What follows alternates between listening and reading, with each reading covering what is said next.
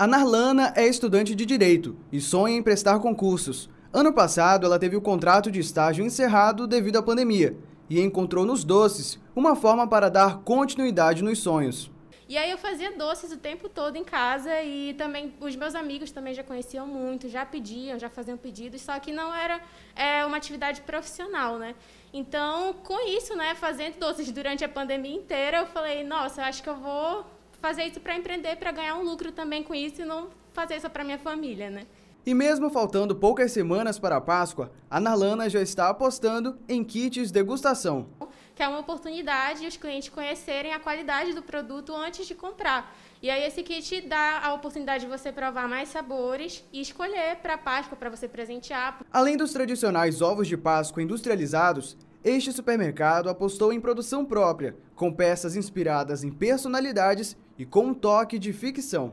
O nosso foco principal é trabalhar com as esculturas, então a gente vai trabalhar aí com vários tipos de escultura e inspirações. Esse ano nós estamos inspirando os nossos ovos, assim como a linha completa de Páscoa, em grandes pintores, como é, Pablo Picasso, estamos trabalhando nas obras de mulheres, estamos trabalhando também em grandes séries da televisão, como a série Game of Thrones, que é um dos principais ovos que nós iremos trazer artesanalmente.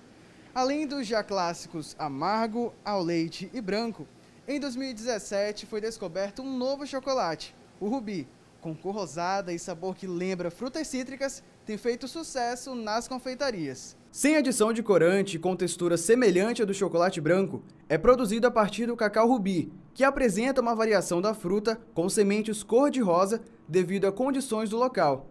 Então a gente vem aí trazendo o chocolate rubi, que desde 2017 veio trazendo isso para o Brasil e veio aí com essa grande novidade e está crescendo a cada dia mais. Seja com um ovo esculpido, um com detalhe de porta-joias ou até mesmo inspirado em uma série, a Páscoa deste ano tem opções para encantar todos os gostos.